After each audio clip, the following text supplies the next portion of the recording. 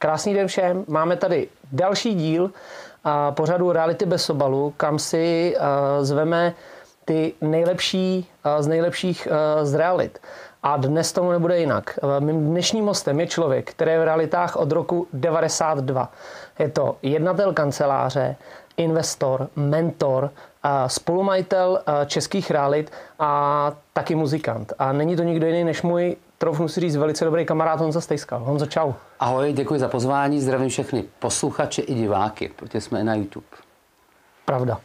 A než začneme vůbec uh, otázkama, kterých já na tebe mám připravený hodně, protože ty jsi velmi zkušený borec v realitách, tak bych chtěl jednu věc a doufám, že mi to diváci odpustí, že to trošičku zdržím, protože uh, z mé strany ti patří obrovský dík, Uh, protože my jsme se poprvé viděli v roce 2014, 13, 14. A uh, tam se naše cesty poprvé střetly. A ty si mi od té doby dal několik uh, velice zkušených rad. Uh, někam si mě i posunul. Potom spoustu lidí, nevím, jestli to uh, zaregistrovali, tak ty jsi byl vlastně jeden ze zakladatelů Realitního vzdělávacího institutu, kam si mě vlastně taky dostal, mm-hmm. kde potom si z Realitního vzdělávacího institutu odstoupil a uh, přivzali kolegové místo tebe mě. Takže ty mě tak jako aniž by si podle mě to ty nějak registroval, tak mě tak nějak těma realitama provázíš a já to vnímám uh, jako velice pozitivně a chtěl jsem ti za to moc poděkovat, protože těch informací a rad od tebe jsem dostal uh, několik takže děkuji ti za to a jsem rád, že si přijal pozvání, že si myslím, že diváci se mají na co těšit. Honzíku. Prosím, to? To, to byl nečekaný úvod, teda teď nevím, mě zaskočil, teď nevím, co na to říct. Jsem rád, že ti to prospívá, nebo že, že se ti daří. A, a hlavně jsem hrdý na to, že jsi eh, mě nahradil v RVčku, protože si myslím, že taková organizace tady chyběla a, a, a ty si vedeš velmi dobře. Takže Děkuju. paráda. Děkuju. Tak jdem na to. Jdem na to. Uh, proč reality? Ježiši, tak já jsem v reality jako nikdy nechtěl moc dělat. Já jsem dělal vlastně kulturu, byl jsem muzikant a byl jsem, uh, věděl jsem, že když udělám velkou reklamu, tak přijde hodně lidí na akci. No a pak jsem si řekl, no a moje mámka mi říká, hele, když se budeš ženi, tak nemůžeš být jockey, ani muzikant, ani organizátor jako, jako kulturní akci, musíš dělat něco seriózního, jinak si nenajdeš dobrou holku. Tak jsem si řekl, no tak dobře, no tak co bych dělal? Tak asi reality. Tak jsem vlastně využil tu reklamu, že jsem udělal velkou uh-huh. reklamu na náběr nemovitostí, když to hodně zkrátím, pak jsem udělal velkou reklamu na prodej těch nemovitostí a, a něco jsem vydělal. Uh-huh. Tenkrát, teď, teď jsem si vzpomněl na rok 91, to jsem ještě neměl realitku, nebo rok 92 na jaře, myslím, že to bylo, že jsem vydělal prvních 50 tisíc korun. Což tu dobu bylo dost. To bylo strašně peněz. Uh-huh. Já jsem z chudý rodiny, takže já jsem na to koukal.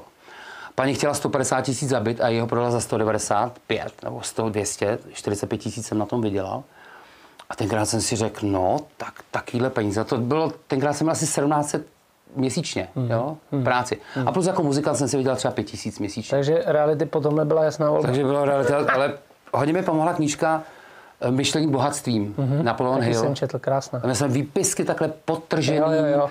Vlastně jsem v životě ne, nepřečetl žádnou knížku a to byla první knížka, kterou jsem přečetl pětkrát a, a, a dodržel jsem to. Hele, a vydělal jsem díky tomu, takže já jsem zase vděčný těm, těm, těm, těm spisovatelům, Napoleon Hill, Hezky. Kiyosaki a tak dále. No. Jo, tak mám to stejně. Ty mě učili. Já dvě knížky. Bohatý táta, chudý táta a myšlení Cashflow kvadrant. To jsou Cashflow kvadrant taky od Kiyosakiho. No. Jasně, tak to Takže jsou základy úplně. určitě všem. určitě. ty základy k tomu. A ty jsi nebyl nikdy makléř? Asi občas jsem byl, třeba 97, Jasně, ale, 8. ale, ale no. ne nějak jako dlouhodobě, že by si se tomu extra vždycky. věnoval. Mm. Jak, to, jak to zvládáš, nebo jak se to vede jakoby kancelář z pozice toho, že, mm. že si ty reality nedělal, že ty vlastně makléře učíš, jak to mají dělat? No. Máš s tím jakoby problém? Nebo, protože ono, ono uh, jenom ještě nechám odpovědět, uh, spoustu hokejových trenérů nikdy nehrálo hokej. Teď jde o to, jestli byl úspěšný. No, tak, tak spoustu z nich. Já se mluvám, já mám astma, takže občas zakašlu takhle. Astma. Hele, já vůbec nevím. Já jsem dělal chvilku makléře třeba v Praze 97. až 9. A tenkrát si pamatuju, že jsem nabral asi 6 nemovitostí denně. Aha, no tak si byl. No, byl, byl, tak akorát, že prostě, bych to řekl, nevýhradně nic se moc nefotilo, nic se mhm. neupravovalo, přišlo se, podepsala se smlouva. Jasně, Vy jste byla... sympatiák z Českých Budějovic, já vám to dám na prodej tak jsem udělal pár fotek, už se to moc nepamatuju, a pak jsme to dali do anonce Mladá fronta dnes A bylo to v Praze, tady, uh-huh. jo. Takže v Praze jsem se tady naučil, tady jsem pobočku, pak jsem si vzal asistentku, takže jsem to vždycky dělal chvilku. Pak jsem ukročil a mě spíš jako vyhovuje ta manažerská pozice. Nebo ne, nevím, asi je mi přirozenější nějak, no. Uh-huh. A v, jak dlouho jsi si, vím, že teď vím, že máš jakoby manažerku v kanceláři, tak jak dlouho jsi si vedl kancelář sám? Uh, já jsem vlastně nikdy nevedl sám. Já jsem vždycky měl někoho, já jsem vychovaný ve sportu jako ty, takže tam se prostě pracovalo v týmu. A já si pamatuju jako dítě, že uh, jsme byli kluci na hřišti a, a všiml jsem si, že někdo chce hrát jenom útok, nevracel se, absolutně. Ale mě řval, vracej se. Pak byl někdo, kdo byl v obraně a do útoku vůbec nešel. A říkám, pomoz tomu útoku. A pak byl někdo, kdo si do brány a byl v bráně prostě. A když jsem přemlouval někoho, ale hrát obranu, tak každý byl jako naštvaný, každý chtěl hrát tu svoji roli. A v tom dětství jsem pochopil, že asi každý má tu svoji roli a že každý by měl hrát to, co je mu prostě blízký. Uh-huh. Jo? A tak se snažím s těma lidma uh, vždycky poznat a snažím se je dostat do jejich přirozené pozice a podpořit je v tom směru. To znamená, už v 92. kdy jsme začínali, tak jsem si vzal kamaráda, který, který vlastně mi v té relaci pomáhal, kterým jsem se rozešel za tři měsíce, protože byl úplně jinak nastavený. Pak jsem přemluvil moji mamku v 93. takže tam mi pomáhala, protože to je poctivá ženská, která opravdu skutečně jako provozně byla výborná. A můj otec právník, který mi pomáhal s těma smlouvama, vlastně mi převáděl ty nemovitosti. Takže ty začátky jsem měl vlastně v tomhle jednodušší, protože jsem měl ty rodiče. Uh-huh. Ale vždycky, když jsem našel člověka, který byl na něco dobrý, tak jsem ho použil právě na to, v čem je dobrý. Já vím, že jsi mi kolikrát říkal, Ondráši, deleguj. Určitě deleguj věci, které nemáš rád, protože já, když jsem ob, občas i dneska, když mám tendenci něco udělat a nemám to rád, třeba něco zmontovat nebo spravit, tak to ty kleště prostě zahodím po minutě. Jo. Vždycky si řeknu, ti to zvládnu, ti to zvládnu, a pak mi to nejde, říkám, nemám na to čas, mrstnu kleště do rohu a prostě a udělá, to nedělám. A udělá nedělám. to manželka. A udělá to manželka. Většinou ty manželky jsou šikovnější než já. takže, takže takhle no. Ale já vím, já vím jednu věc, že člověk by měl dělat, na co má buňky mm-hmm. a to rozvíjet, protože to rozvíjíš úplně přirozeně. A tohle je určitě zajímavý téma, protože si myslím, že spoustu makléřů se zaseká na něčem, co jim zabere víc času, nebaví je to, otrávě je to na tu práci, která by je mohla bavit. No. A kdyby v nějaký tý, ne každá činnost jde delegovat samozřejmě, ale kdyby tu práci delegovali, i kdyby měli dát nějakou kačku někomu, hele, udělej tohle, tady máš a já ten čas efektivním někde jinde, tak eh, ty asi o tom budeš jako vědět víc, tak se to zefektivní dvojnásobně, možná trojnásobně, než když já se na tom zasekám. Ale spoustu lidí to neumí, a nebo nechce to jakoby předelegovat dál. Myslím to si, je jedna z největších velký... manažerských chyb. Myslím si, že... Myslím si, že to dělám nejlíp na světě dělám to na jedničku a nebudu to delegovat, protože ten dotyčný to dělá na dvojku. A já se s tím nesmířím, protože jsem perfekcionalista. Uh-huh. A to je jedna z největších manažerských chyb. Uh-huh. Je lepší si vzít lidi, kteří to dělají potom na dvojku, ho, a já se můžu věnovat, mám spoustu jiného času a věnovat se tomu, na co mám dára. Jo? A ono jako najít ten dar v sobě taky není úplně sranda. Jo, protože lidi se mi ptají, hele Honzo, já si myslím, že mám dar na tohle. A já říkám, hele, já si myslím, že máš dar na něco jiného. Teda promiň, na to taky, ale vidím tě daleko silnější si třeba v diplomaci, nebo si daleko silnější v obchodě. Jo? A ono se říká, jsou takové tři věci. Jo? První věc, jak se, jak se vidím já, taky jako to je jedna, jedna, jeden úhel pohledu, druhý úhel pohledu, jak mě vidí ty druzí. A třetí úhel je, co si myslím o tom, jak mě vidí ty druzí. Uh-huh. A to jsou prostě tři různý úhly pohledu. Jo, a teď si to napíšeš a najednou zjistíš, že že prostě, že, že, že, to, že to je pestrý, že to není úplně jednoznačný. Jasně. A dost často lidi se v tom nevyznají. Jo. Já jsem taky vůbec netušil, že budu třeba dobrý manažer nebo dobrý strateg, vizionář. Já, já jsem to nevěděl. Já jsem si myslel, od malička mi říkají, zpívej, zpíváš pěkně, tak jsem zpíval. A zpíváš? Zpívám, asi budu zpívat do konce života, protože jsem se k tomu vrátil. Ale chci jenom říct to, že hodně často lidi ani neví, na co mají vlohy. A nebo si myslí, že mají vlohy na něco a není to tak a mají vlohy úplně na něco jiného. Jo? Typický příklad je, uh, byli jste někdy v karaoke? Bar, samozřejmě. Spousta lidí zpívá parádně a pak tam přijde někdo, kdo si myslí, že umí zpívat a nespívá. Jo? A myslí si, že umí zpívat a prostě neumí. A stejně to naopak. Já nevím úplně, jestli umí zpívat a zaspívá nádherně.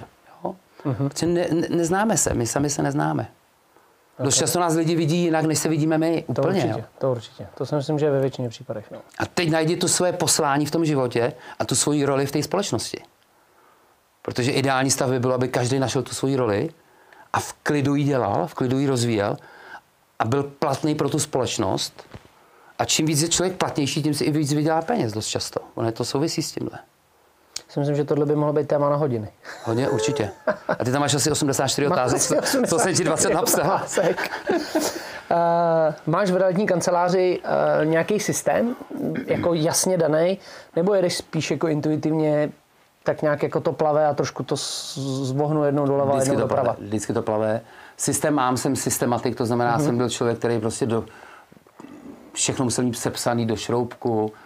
Já když jsem ukázal některým majitelům sítí nebo ředitelům sítí, že mám 850 faktorů, který ovlivňují výsledek realitní kanceláře, tak mi řekl, tak mi řekl že jsem se zbláznil. Ty asi víš, o kom mluvíme. A já měl všechny ty faktory sepsaný prostě a, a některý měli velkou váhu, některý menší, některý ještě menší.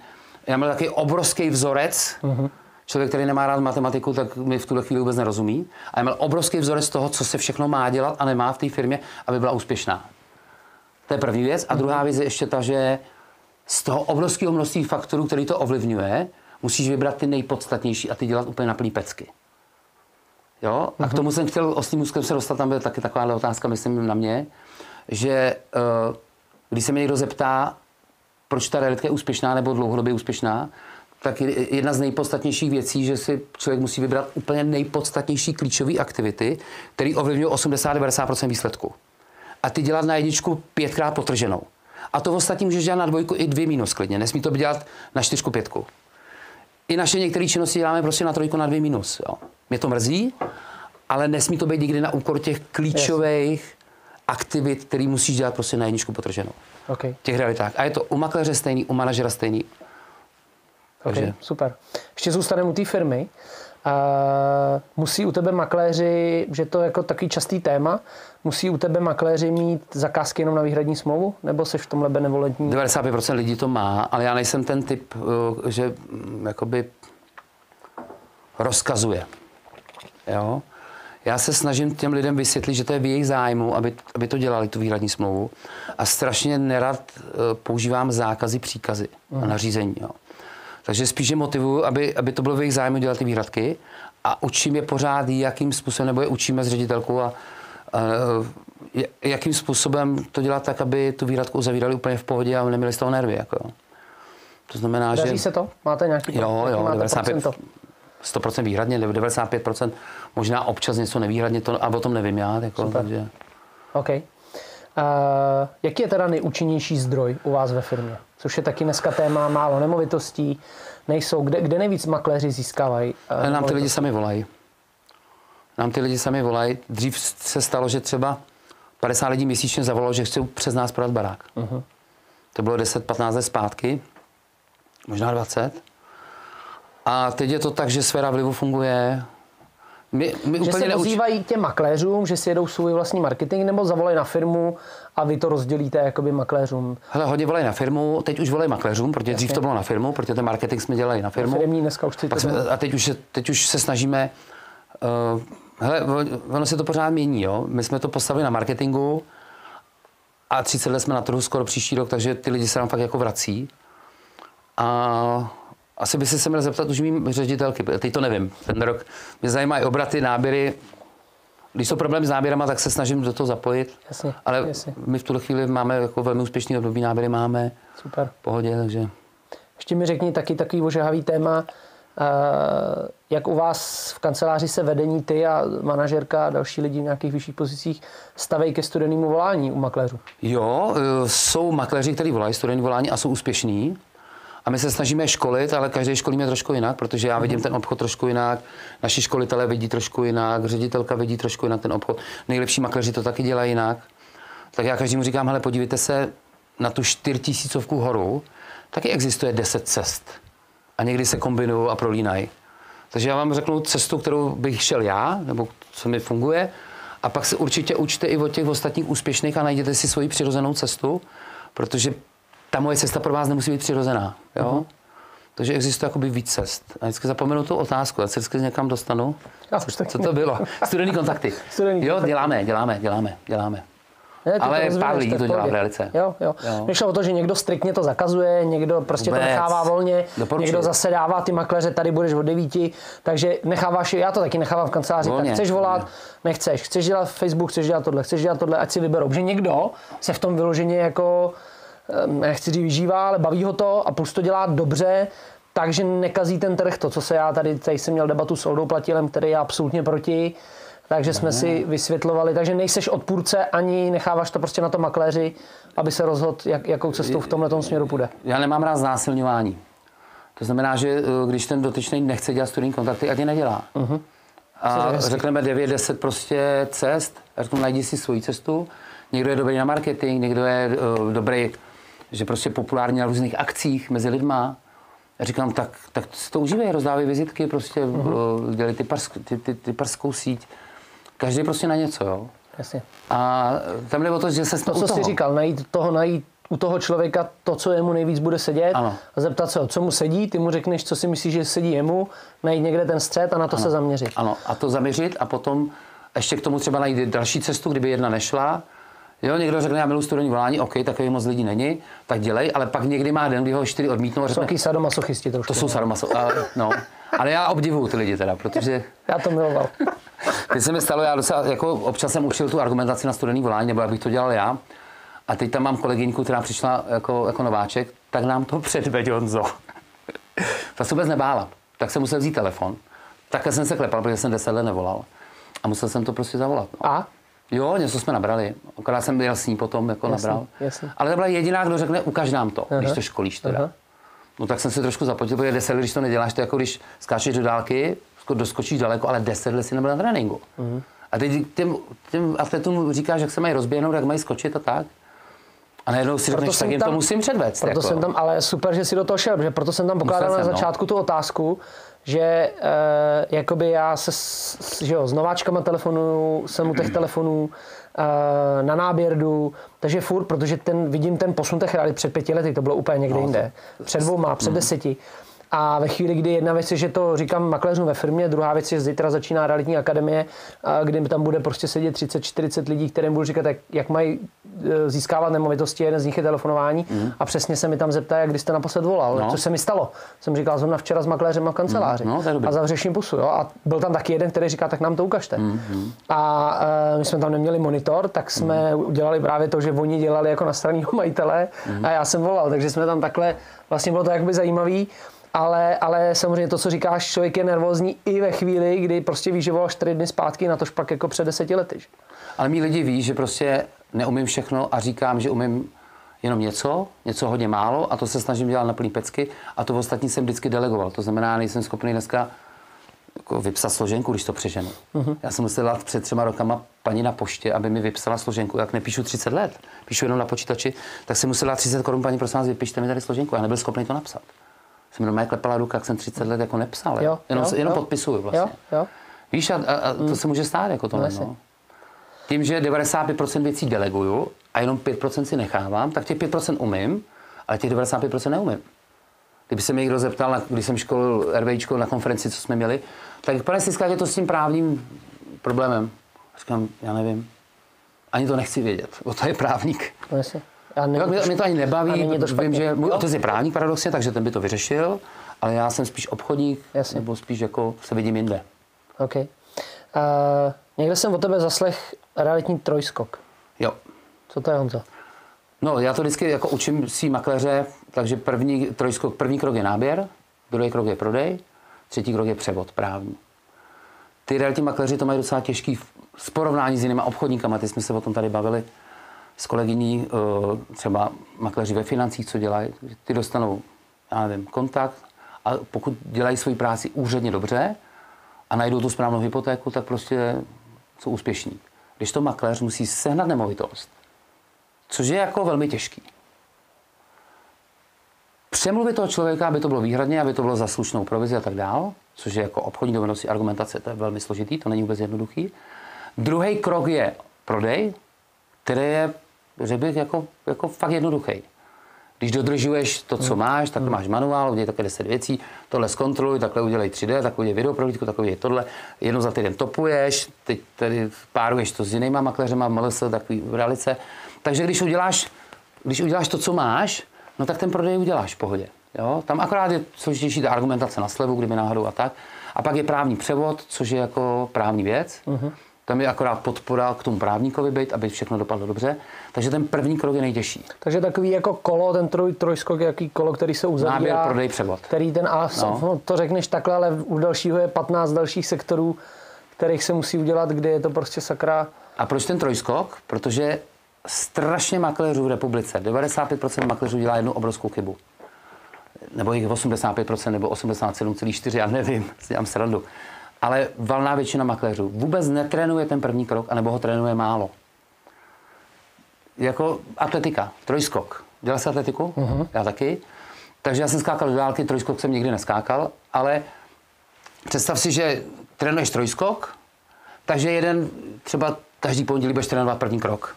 Rozběh a první krok. Každou, každý úterý se budeš soustředit třeba na druhý krok. Jo?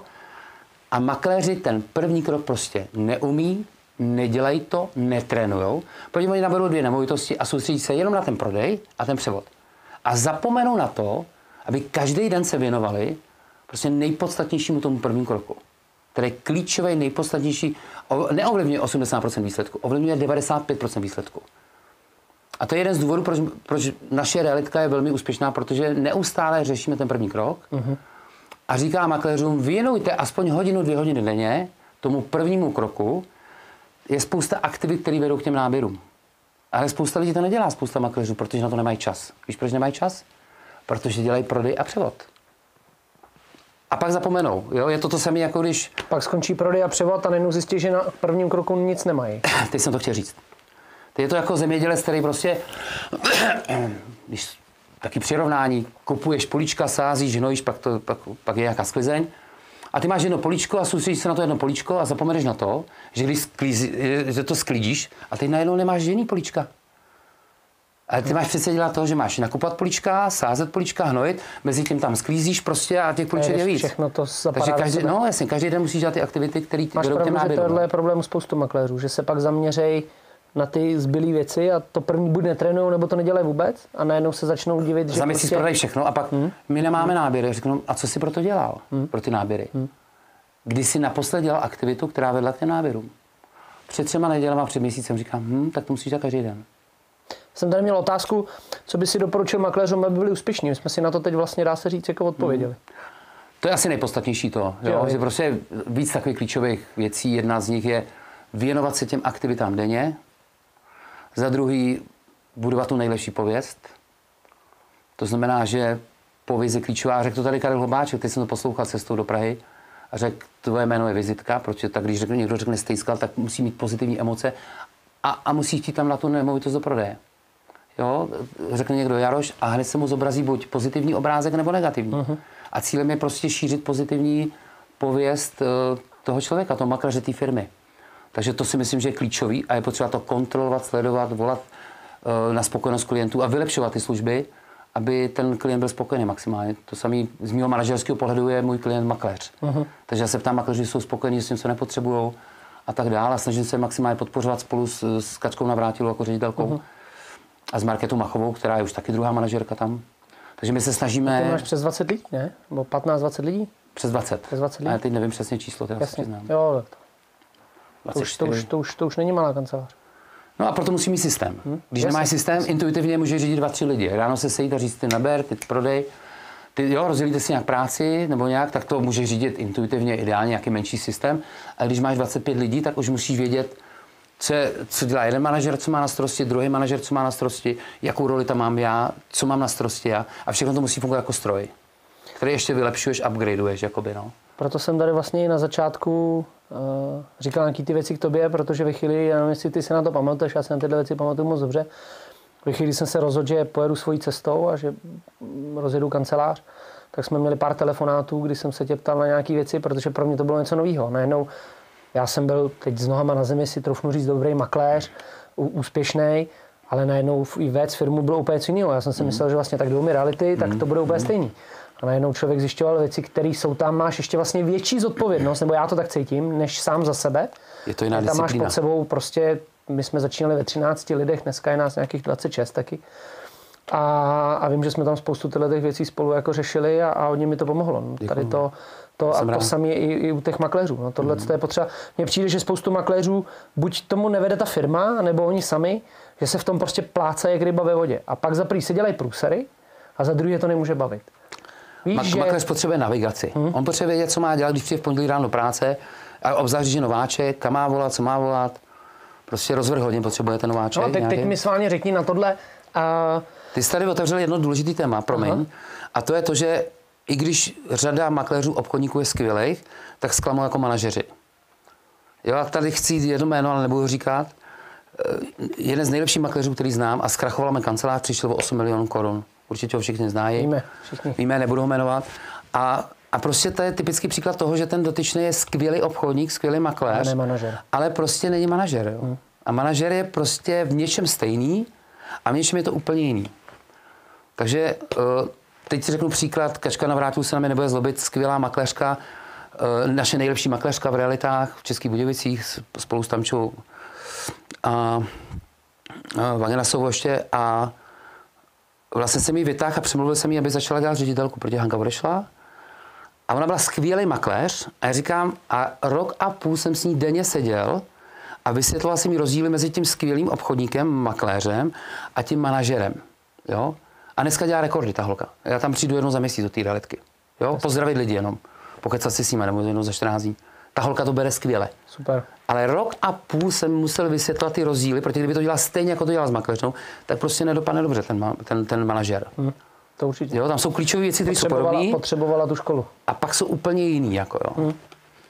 Ale musí to mít v sobě. Jedna věc je, že jí to naučíš, ale druhá věc je, že to musí mít v sobě. A to v to sobě je stejně jako makléř. Jako ten je hodně o obchodu, prostě když ten makléř není obchodník, jo, jsem tam něco prodá, ale, ale spoustu věcí potřebuje plus nějaký time management, na který taky dneska ještě narazíme. Mhm. Ale já jsem chtěl tomu, jak jsi říkal, tak jsem chtěl navázat, a vlastně, že ten makléř potřebuje hlavně nováček od té kanceláře pomoc, vést a tak dále. Jak vnímáš dneska různý ty modely, které tady jako vyběhly pod nějakou značkou, jedu sám na sebe a tak dále. Jak tohle to jakoby vnímáš z tvýho pohledu? Protože ty jsi na tom trhu od roku 92. Takže nějak to fungovalo předtím, nějak to funguje dneska. Hele, uh, strašně široká otázka. Jo? Já se pokusím do toho nezabloudit, nebo strašně věcí. Tak jedna věc je ta, že uh, makléři zapomínají na to, že když začnou dělat sami na sebe a začnou jako no name, tak je to strašně těžký. Já to vždycky říkám, buď jste teda na silný lodi, která už nějaký čas pluje po tom moři a jenom za měsíc přijdou desetimetrový vlny a vy to zvládnete, protože jste na té silné lodi. A potom, když jdeš do té malé lodičky, OK, jako může se chvilku dařit, můžete jet z povětru, ale někdy může přijít protivítr, a někdy může přijít bouřka a někdy může přijít krize a tak dál. A, a na té malé lodi se to málo kdy dáš. Jako. To znamená, ta síla té značky a té pověsti, ta přitahuje pozornost klientů. Respektive prodávající, o který je teď boj. To znamená, my, my fakt nemáme problém s náběrama, protože jsme tady 30 let a snažíme se dělat skvělou pověst a miliony korun, desítky milionů korun stálo za těch 30 let ta značka. Vybudovat prostě tu značku, aby ty lidi, no a dneska uh, 95% lidí z Českých Budějovic a okolí, protože když řekne RK Stýská, tak to znají, ale Pardon. stálo to strašně peněz. A je to, jsou to peníze, jako je to, je to taky podpůrný faktor pro ty makléře, protože když řeknou, že jsou z RK Stýskal, tak to mají prostě daleko jednodušší, jsou hledatelnější na tom webu rkstýskal.cz, když tam, když tam je ten obličej, když tam je to jméno, tak ty lidi u nás prostě ty náběry mají. Protože uh, já se na to ptal i z toho důvodu, že, že vlastně jedna věc, jak jsi, jak jsi o tom mluvil, o tom, že ten makléř by měl mít nějakou podporu, že spoustu z nich si myslí, já to zvládnu sám. A druhá věc je, že ve chvíli, kdy my třeba přesně mluvil jsem tady o akademii, tak máme už několikátý kolo za sebou a já to vlastně vždycky otvírám ten první den. Uh, a tam se těch lidí, jak dlouho jsou v realitách, kde jsou, jak fungují, abych věděl, koho proti sobě mám a s čím tam těch 9 hodin, 8 hodin budu jakoby pracovat. A nejvíc makléřů, který tam jsou, tak jsou tady z těch jakoby kanceláří, který si jedou sami na vla- makléři, kteří jdou na vlastní triko, už dobrý to je, že si tam jdou sednout na to školení. Díky bohu za to. To je super, protože spoustu z nich sedí doma a nejde, takže to je jako za mě v pořádku. Ale co je tam nejvíc, tak jsou makléři z tady z různých těch 100% sítí, kde prostě dejte mi nějaký měsíční poplatek a zbytek si dělejte, jak chcete. A pak tam sedí makléř, který prostě dělá, řekne, já dělám tři roky. A teď během toho dne najednou se bavíte o věcech, kdy to ví tamhle makléř, hmm. který je v realitách dva měsíce. To je to, co mě tam jako Víš přesně to, co si ty říkal, ta kancelář je o to, aby tě vedla, aby ti ukázala. Dneska my jsme hodinu strávili uh, na poradě, teď jsem se měl akorát z porady, o tom, že jsme se jak se zkušenými, tak s nováčkama bavili o jednom složitým případu, kdy jsme to tam prostě řešili, ty, aha, takhle to mám řešit, to je průser, takhle bych to dal na katastr. Ten makléř říká, no a je tam půl roku, říká, ty, kdybyste mi to neřekli, tak já to v životě jako neudělám mm, dobře. Že? Já si vůbec představit, že, že by nebyli mý lidi školení. Já až přeškoluju, až to měli ty lidi plný zuby, když školy Stejskal už nechodili, jo, protože každou středu jsem do nich valil furt něco, tak potom, že přestali chodit, a říkám, aha, musím brzdit, protože poptávka po mým školení u mě v kanceláři už nebyla, takže teď jsem rád, že, že vlastně školí někdo jiný.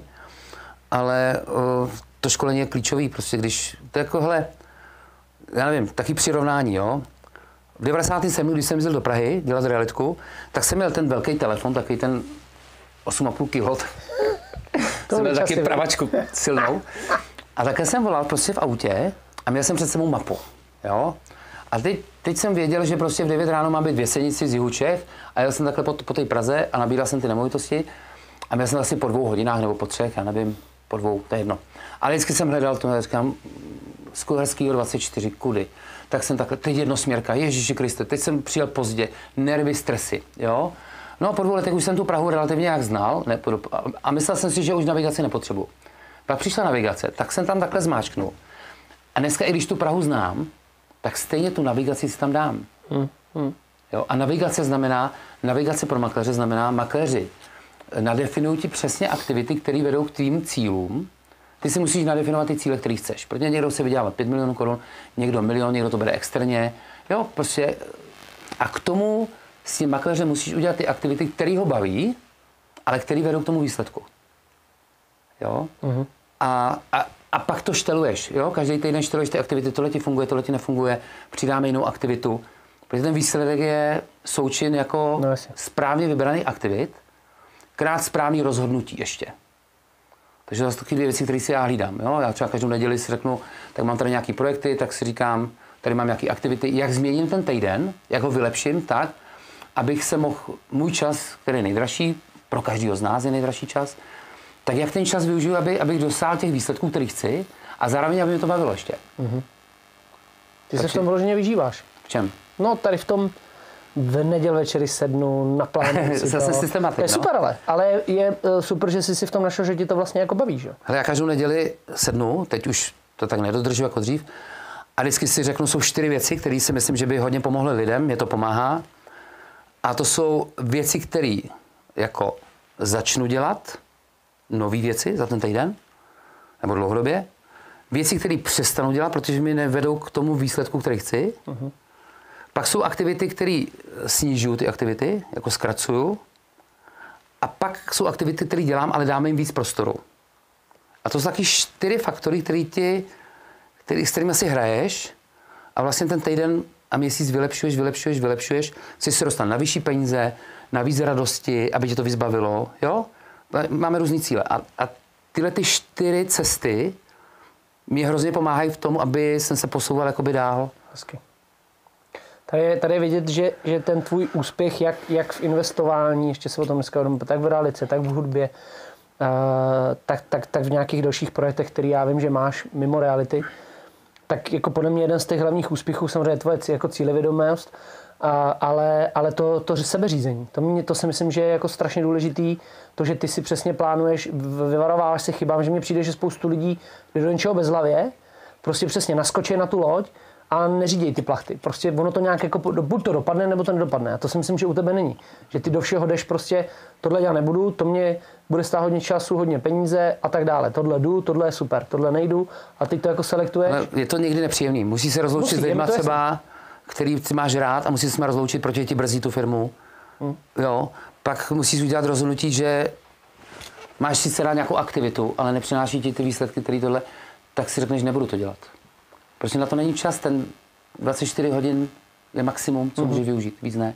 To je jasný. Jo. A tam je hrozně, co mě pomohlo, tenkrát jsem někde přečetl v knížce, nebo nevím už, že je důležité skloubit aktivity, které vedou k těm tvým cílům a výsledkům. A zároveň vybrat takové aktivity, aby, aby tě bavily. Protože tahle společnost dělá, včetně mě, jsme dělali, nebo děláme obrovské chyby. Že prodáváme svůj přítomný čas ve prospěch zářní budoucnosti. Ale přijdeme o ten přítomnost. Zahodíme přítomnost. Prostě to nejpodstatnější, co máme. My jsme schopni za, zahodit krásnou přítomnost ve prospěch budoucích cílů, že jednou budu milionář, nebo jednou budu něco a, a prostě dělám vysokou školu, která mě nebaví třeba, učím se jí, musím se tam učit spoustu předmětů, který mě nebaví. No a potom jsem tím chirurgem a taky mě to nebaví, protože to přála matka třeba, že jo. Teď mi o sobě, teď říkám příklad. No ale to není cesta. Cesta je ta, směřovat k těm cílům správnýma vydefinovanýma, vydefinovanýma aktivitama, kterými ještě zároveň baví a nabíjí. To znamená, já nepřijdu z práce po 8 hodinách s tím, že se jdu dobít. Ne. Já mám nadefinované tak, takové aktivity a takový lidi kolem mě, že dost často přijdu a co budem dělat v 7, v 7 večer. Tak si hraju na kytaru, protože to mám další svý cíle a zároveň aktivity, které mě baví. Jo, protože vydefinuješ, jako ono vydefinovat správné aktivity není problém. To si prostě, když makléř chce, dneska je Tomáš Kučera, RVIčko, miliony prostě školení, tak si vydefinuješ, co máš dělat. Proto se tím nezdržujeme, protože je to plný internet. Jo? Ale vydefinovat si takové aktivity, které tě baví, nebo které jsou podstatné pro tebe, nejpodstatnější a ještě tě baví, to už není sranda, protože tam, tam děláme chyby.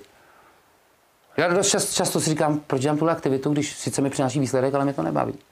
Škrtám, příští týden nedělám. Dneska máme hodně hluboký díl. Myslím si, že... No. Myslím si, že to... my jsme se bavili o tom, že když jsme připravovali super. ten podcast, jo. tak prostě nebudeme tady omílat věci, které jsou stokrát řečené na internetu, jasně, že jo? Jasně. Tak já přemýšlel, co řekneme divákům takového, aby, aby to bylo super. jiný. Ne, super, super. No. Jdeme, jdeme na křížový výslech. Chvilku vorazíme a pak budeme pokračovat v otázkách. Dobře. Jsi připravený? Pojď. Já ti budu dávat na výběr, řekneš, co je ti bližší. Jo? Bojí mm-hmm. se? Ne. Byt nebo dům? Dneska dům. Rodina nebo práce? Rodina. Peníze nebo postavení? Peníze. Víno nebo pivo? Nic. Ani jedno. Vedení RK hudba? Hudba. Myslel jsem si to. Mm. Životní vzor? Profesní nebo životní? Jakýkoliv. Těch je víc? Řekni. Kiyosaki, Napoleon Hill, mý rodiče. OK. Největší tvoje slabina? Jestli nějakou máš teda?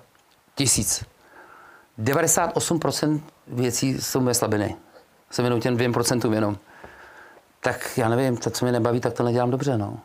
Tak slabina, jako v realitách nebo obecně? Jakoliv v životě, co ti prostě nějak, že víš, že jsi v tom jako lidsky pracovně slabý, no. Kdyby si na tom měl zamakat. Nebo právě, že nemusíš na tom zamakat, máš na to někoho, delegoval si to, ale víš, že to není... Ale moje slabina jako... jsou právní věci a jenom teď kupujeme nějakou nemovitost a bylo tam 30 stránek. Já jsem to furt odkládal, já jsem to kupuješ nemovitost za miliony mm. a já jsem si to pomalu ani nepřečet. Já jsem to musel jako prostě... Mm. Já jsem to nějak přeskočil. já to prostě tak nemám rád. Já tě rozumím, no. Takže moje slabina se v dnešním mým věku už se nedonutím dělat něco, co mi nebaví. Okay. I když je tam hodně peněz prostě. A nejsilnější tvoje přednost? Ježiš, to já nevím. Nevím. Já to nevím. Nevíš sám? Netrofnu. Přesně si tady říkal, jak tě vidí okolí, tak jakoby... Já si třeba... Já si myslím strategie a vize firmy. OK, no, super. Třeba, jo, že vím, přijdu do nějaké firmy a vím, co dělají, co nedělají, co by mm-hmm. měli dělat, nebo u makléře vím, co nedělá, co by měl dělat, nebo přijdu do jakýkoliv jiné firmy uh, a nějak poznám, že nedělají věci, které jsou klíčové a dělají spoustu věcí, které klíčové nejsou, na úkor těch jasně, a jasně. tak jo, takže okay. asi, asi strategie vize firm. To je všechno. Jdem dál. To mě nebylo. Uh, než půjdeme do otázek dalších, uh, pokud chceš, můžeš se na něco zeptat ty mě.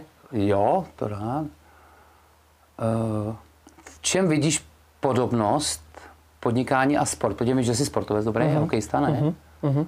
Dělal jsi ještě jiný sport, kromě hokeje. A v čem je to podobný? Protože ty jsi úspěšný už v tuhle chvíli jako realiták. Čím je to podobné? Já tam vidím jako hodně podobných věcí. Jako. Uh, myslíš jako uh, to podnikání v těch realitách a ten sport? V čem, jo, jo. V čem je to... V čem to vidíš ty? Jako? No, tak samozřejmě mě ten uh, hokej naučil nějaký disciplíně.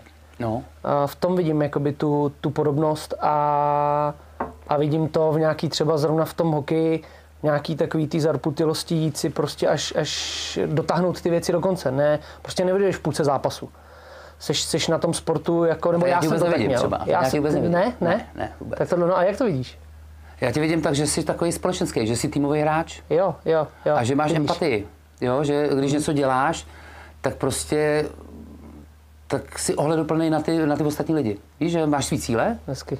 ale víš, že, že prostě pomáháš těm ostatním k tomu, aby si, že, že ne- nebouráš ty hrady. Jako některé ty děti na tom pískovišti, Jo, to že staví pravdu. svůj hrad a lochtama boří prostě, ani by to věděli, že nejsou empatický, že jo. Některý lidi jsou víc empatičtí, některý míň. A ty jsi empaťák, jako týmový hráč, což je jako v realitách strašně důležitá věc. To máš pravdu. Jako Ale i v makléřině, i vidíš, v tom to je super, přesně jak jsi říkal, nějak se vidíš ty, No, no. nějak tě vidí okolí a pak se podívej na to, jak tě vidí to tvoje okolí. No. No. Takhle jsme se bavili 20 minut zpátky. Super. já vím, no. A teď nad tím přemýšlím a budu nad tím přemýšlet ještě doma.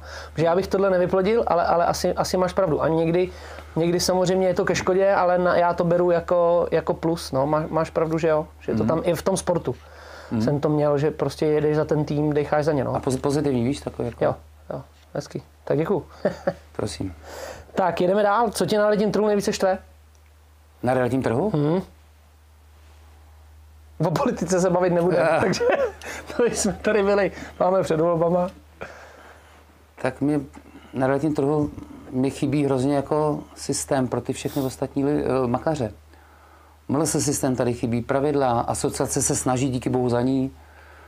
Ale, ale to není tak, jak by jsme no, potřebovali. Jako díky bohu, že tady je nějaká organizace, pak je tady komora, kterou já moc neberu, ale není tady vlastně, nejsou tady jako pravidla. Ty makléři, jako český národ, nebo tak to vnímám já, netvrdím, že mám pravdu, Ano, že český národ je velmi kreativní, což je dobrý v mnoha směrech, ale prostě nedodržuje postupy, které jsou ověřený z té Ameriky, ať je to Century, Remax, dobrý systém, ERA a tak dále. A dostanou dobrý systém a oni ho nedodržují prostě. Oni se ani nepřečtou. Já když jsem šel do Century, tak ty jsem dostal takový byl fascikl. v Century, kde si... No jasně, já jsem si to všechno načet a bylo strašně věcí, protože do té doby jsem musel všechno vymýšlet, že jo, spolu s mým týmem. A najednou jsem řekl, tady je to všechno vymyšlený, to je taková pohoda, odevzdám nějaký procenta jenom a vlastně nemusím to vymýšlet. Jo, tam je to, tady je to všechno definované, když to budu dělat, jak to tady je napsaný, Hm, ale prostě budu úspěšný. ale ty si ty řekl jednu věc, ale takhle jak ty přemýšlí podle mě strašně málo lidí. Protože ty si tady řekl, super, dostal jsem takovýhle fascikl, odevzdám nějaký procenta a tam se zastavujeme. Protože spoustu lidí ti řekne, "Pře, já to zvládnu, tamhle si to vygooglím dneska. A na co já budu odevzdávat realice nějaký procenta. To si myslím, že má spoustu lidí. A ty si na to koukáš přesně z toho, ty jsi to úplně otočil, oproti tomu, než já někde se bavím s někým, proč seš sám, nebo proč něco na školeních, no proč bych odevzdával realice procenta, já si to někde najdu, já je nepotřebuji. A ty, ty to bereš jako vlastně plus. a Protože to 18 mělo let jsem podnikal sám No, ale ty lidi ne. a byl problém, tak Honzo, jak to budeme dělat? Tak já jsem odjel třeba k moři, někdy nevíš, jako někdy víš a někdy nevíš, jak to budeš řešit. Mhm. Nejsou náběry, zkrachujem, 97. rok, co budeme dělat? Tak jsem odjel na dovolenou prostě a, a stejně od rána večera jsem přemýšlel, jak to budeme dělat. A to byly tisíce hodin času, kdy prostě musíš najít to řešení. A ve škole mi šla matematika sama, na úkol jiných předmětů, ty zase mi nešly, ale to, to je to řešení, najít to správné řešení pro tu firmu. Uh-huh. A teď jsem tam najednou viděl to know-how, a říkám, tady je neskutečný, to je neskutečný tohle. Jo, to je, a já jsem si to vážil prostě, no. I když jsem odešel po pěti letech, z jiného důvodu, ale do dneška tam mám kamarády, vážím si těch lidí, už řada z nich jsou v Vermaxu nebo v jiných sítích, ale, ale ty úspěšní lidi prostě jsou načetli a jeli.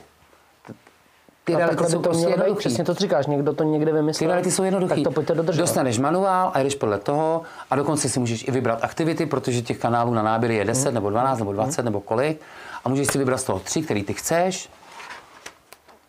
Vlastně ono to není složitý dělat ty reality. Když budeš dodržovat akorát ty obchodní dovednosti, to se nikdy moc neučí. A pokud se to učí, tak je to drahý a je to právem drahý, protože ty obchodní dovednosti jsou klíčové. To vidím úplně, Tak ono o tom se moc nemluví. Jo, přijde nováček, řekneš mu manuál, takhle to máš dělat, takhle, takhle, takhle, takhle.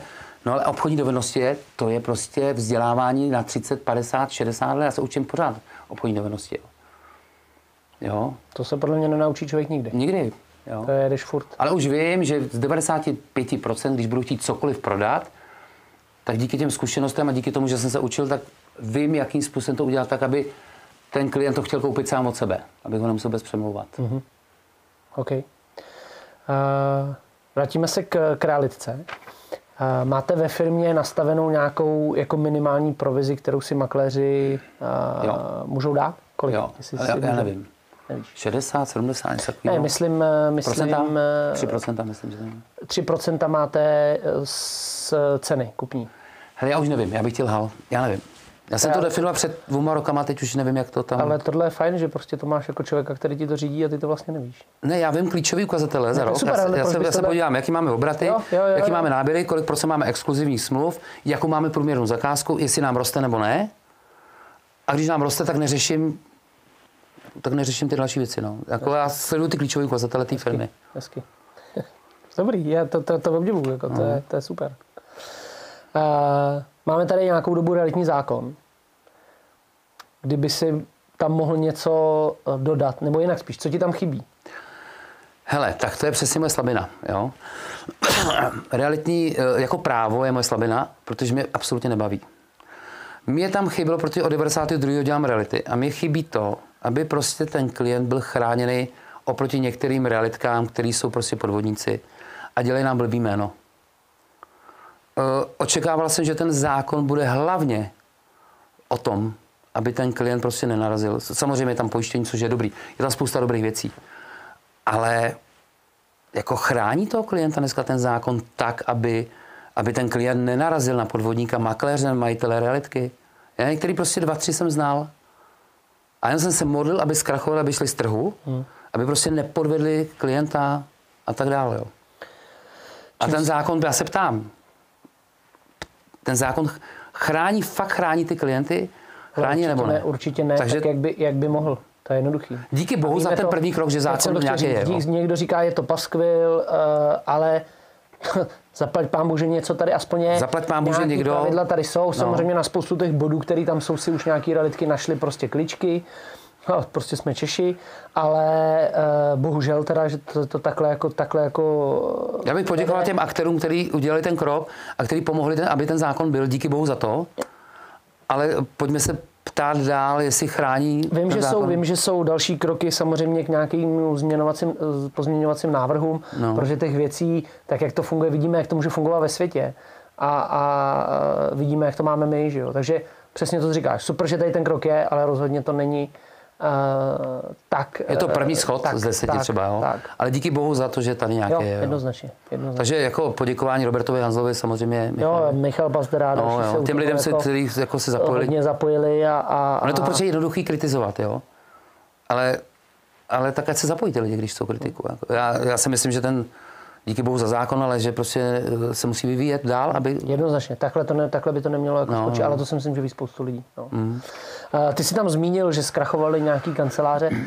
Čím si myslíš, že dneska, já to vidím třeba hodně, my fungujeme hodně Kladno, Praha, tak vidím, jak tam spoustu kancelářů za těch, kanceláří za těch 13 let, co já tam jakoby funguju třeba na tom Kladně, tak najednou prostě zmizeli, nejsou tam, zkrachovali. Mm. Čím si myslíš, že se tam, že se třeba u vás, ty to zase třeba vidíš v Budějovicích, čím si myslíš, že za těch, já to vidím za 13 let, to vidíš skoro za 30 let, že se, je taková fluktuace těch realitních kanceláří? Eh, realitní kancelář je strašně těžký řemeslo. Makléřina je strašně těžký řemeslo. Strašně lidí tím projde a 90% lidí končí postupně. Eh, je to ten trojskok, protože eh, když budu cokoliv prodávat jako obchodník, tak prodám produkt a prostě ho jednou prodám. Tady musíš třikrát prodat. Prodáváš si při náběru, pak prodáváš tu nemovitost a ještě při tom převodu může udělat nějakou chybu. Takže je to strašně složitý. A ty realitky zkrachovaly, hele, tam je víc faktorů, to se nedá říct. Jeden z těch faktoruje třeba to, že spousta právníků nebo znalců začalo dělat reality. A když je někdo znalec, tak je rád u počítače a s metrem kolem baráku. A není zaměřený na vztahy. Uh-huh. To znamená, nemůže být úspěšný. I když je to inženýr, stavař, otevře si realitní kancelář, tak nemůže být úspěšný, protože je zaměřený prostě na ty technické věci. Uh, úspěšný majitel realitky nebo úspěšný makléř bude, když bude populární, bude mít skvělou pověst a bude zaměřený na lidi, na vztahy. Jo? Takže budovat vztahy. A to, že já nejsem technický typ, to jsem, já jsem dělal střední průmyslovou školu, strojní obor, silnoprout. Jsem nepochopil za čtyři roky, proč jsem tam chodil. Já jsem to prošel jenom, že mi ty učitelé měli, měli nějak rádi, ale jinak já nejsem technický typ. A to je možná právě dobře. Takže hodně těch, pra, eh, těch, těch, těch znalců, kteří si otevřeli realitky, skončili. Pak hodně i právníků, kteří byli právníci, otevřeli si realitku, tak taky skončili. Ale hodně lidí, kteří prostě nedodržují systém, který prostě nevyvíjí se. Který si mysleli, otevřu si kancelář, lidi přijdou, naberou, prodám, to je jednoduchý. Já si myslím, že je to vlastně i to, co ty si říkal na začátku, že spoustu lidí v tom vidělo vidinu rychlej peněz. No, A vlastně tím, že tady nebyl ten zákon, tak to mohl dělat vlastně kdokoliv. tak. Ty jsi, ty jsi vlastně v tom viděl taky, ale ty jsi se chytil, chytnul si to za pačesy a děláš to dobře, a vybudoval jsi nějaký jméno. Ale pak si pojďme říct, jak, jaký postavení má realitní makléř v Česku a jaký postavení má realitní makléř v Belgii. A je to přesně tím, že do toho mohl skočit kdokoliv a najednou mohl zase klidně po dvou měsících vyskočit, ale už nikdo neřešil, kolik za sebou nechal prostě špatných věcí. To si myslím, jako myslím že Je úplně neuvěřitelný, že to byla volná živnost. to je, to je strašný. Makléř nakládá s majetkem několika milionů nebo někdy i desítek milionů korun a je to volná živnost. A politici to tak nechali, jo. Jo, poli- já, já tomu nerozumím. Já Já, teď jsem viděl v tom zákoně, když se to řešilo, my jsme měli několikrát s- hospodářskou komorou, myslím, že ty si taky byl na nějakých jednáních, právě když jsme řešili ten zákon, když jsme zjistili, že v tom je těžce zakomponována politika, tak jak my si ani neumíme představit. Takže to jako, ale to je na další povídání. To je ale součást politiky nebo cílem politiky je, aby se lidi měli dobře. Nebo měli nějaký, aby tady byly nějaké pravidla, které prostě, které jsou inteligentní ty pravidla. Jo. A pokud nejsou žádný pravidla, tak to je taky anarchie, to nejde. Protože pak to dopadá přesně tak, jako tu realitách, že vlastně makléře může dělat kdokoliv bez ohledu na školu, bez ohledu na odbornost, bez ohledu na cokoliv. Jo? Tak, a pak to tak dopadalo, pak ty makléři mají právě takovou pověst. No a ale třeba nepochopím jednu věc, jo? tam jsou tady, ať jsou to třeba v Americe nebo v Anglii, ve Francii jsou vyspělý trhy, který prostě stovky let pokus omyl. Hmm. A my stačí, když vezmeme ten systém, takhle ho vezmeme. Z 5% to poštul, poštulujeme na, naš, na náš my v tom lokál. máme obrovskou výhodu. Proč bychom to jako vymýšleli, že je to vymyšlený? No. My ztrácíme čas a politici to nepochopili, nevím, já bych se rozčílil. No, nerozčiluj se. No. Honziku, jsme v samém závěru.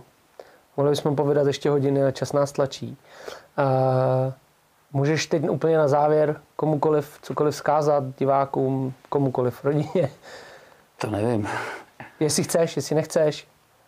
No tak dva citáty, ten druhý zapomenu určitě, protože řeknu ten Stačí první. jeden. Míř, je lepší mířit ke hvězdám a netrefit se, než mířit do hnoje a trefit se. Jinými slovy, nebuďte skromní, mířte vysoko, ale nestrácejte pokoru. Lidi to, jako lidi to zaměňují. Skromnost je... Skromný vystupování, ano, super. Ale skromnost znamená, že se prostě devalvuješ. Uh-huh. Že prostě si neužiješ toho života, neužiješ si ty dovolený krásný v Karibiku. Jo? Je potřeba chtít si vydělávat pěkný peníze, protože ten život je nádherný. Někdo se vydělávat peníze z toho důvodu, aby měl nějaký postavení a má jak problém s, nějak s egem, nevím. Ale někdo chce vydělávat peníze, aby měl svobodu, aby poznal krásy tohle světa, což je super. A na to peníze potřebujeme. Takže prosím vás, chtějte dost peněz vydělávat, což je super. Ale záleží, jakým způsobem. S pokorou. S pokorou, ale tím, že pomáhám lidem. Ne, že se zazu loktama takhle, a že, že, že lezu na ten... Myslím, že Jana Kučerová řekla výborný citát, nebo řekla takovou myšlenku, která se mi strašně líbí, já to používám. Janíčko, zdravím tě. Uh, že, že je vždycky dobrý chtít to nejsladší jablíčko, který je úplně nahoře, ale cestou k tomu vrcholu, na ten strom, nesmíš polámat ani jednu větvičku. A tím řekla všechno. Hmm. A já to hrozně často Hezky, používám. Jo. Hezky, hezký závěr. No. Honziku, děkuju moc. Já děkuji za pozvání. A myslím si, že tenhle díl je sakra našláplej, takže uh, děkujeme, že jste vydrželi až do konce. A my se na vás budeme těšit uh, zase u dalšího dílu. Mějte se krásně a ať se vám všem daří. Naschledanou. Naschle. Ahoj.